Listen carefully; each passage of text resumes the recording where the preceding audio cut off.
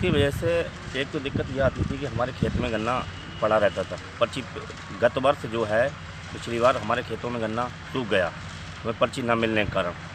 जबकि हम बहुत पहले से गन्ने की सप्लाई करते आ रहे हैं, मेंबर हैं, लेकिन जो है पिछली बार नहीं मिला। लेकिन इस बार कुछ अच्छा कुछ सही करे गए हैं, सर्वे के, करा गया करा गया है सरकार की तरफ़ से, जिसमें एक तो जिनके पास ज़मीन है, वही केवल ज़मीन है और गन्ना है। उन लोगों को ही लिए पर्ची मिलेगी। और पिछली बार क्या होता था कि जो दलाल सक्रिय रहते थे जिनके पास ज़मीन भी नहीं होती थी लेकिन सट्टे उनके बहुत हैवी होते थे। केवल पर्चियाँ उन्हें मिलती थी। लेकिन सरकार की पहल पर इस बार जो भी पर्चियाँ आप मिलेंगी वो सही लोगों को मिलेंगी जिनके पास ज़मीन भी होगी और पर्ची भी होगी गन्ना भी होगा। पर्ची उन लोगों को ही मिलेगी। इस बार सरकार की पहल बहुत अच्छी है।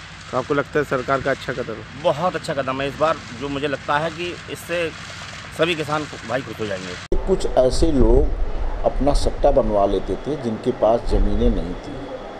तो इस बार बढ़द रूप से जाँच करके सट्टा बन रहा है।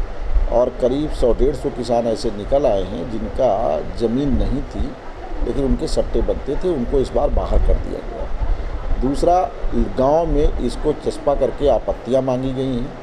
और आपत्तियाँ उनके निस्तारित करके अगर किसी का सट्टा गलत है तो उसे ठीक भी किया जा रहा है। और ये जब गन्ना विभाग अपना एक दो दिन में फाइनल कर लेगा, इसके बाद इन सारी सूचियों को एक बार पुनः हम अपनी लेखपाल की उपस्थिति में गाँव में प्रदर्शित कराएँगे, जिससे गाँव वाले एक बार देख लें, अगर कुछ और कमी बेसी लगती तो अपनी बात को कह सकें, जिससे हमारी ये सट्टे की सूची बिल्कुल सही बने और जिसने गन्ना बोया है और जिसका खेत है उसको पर्चियाँ मिलने में जिससे कठिनाई ना हो।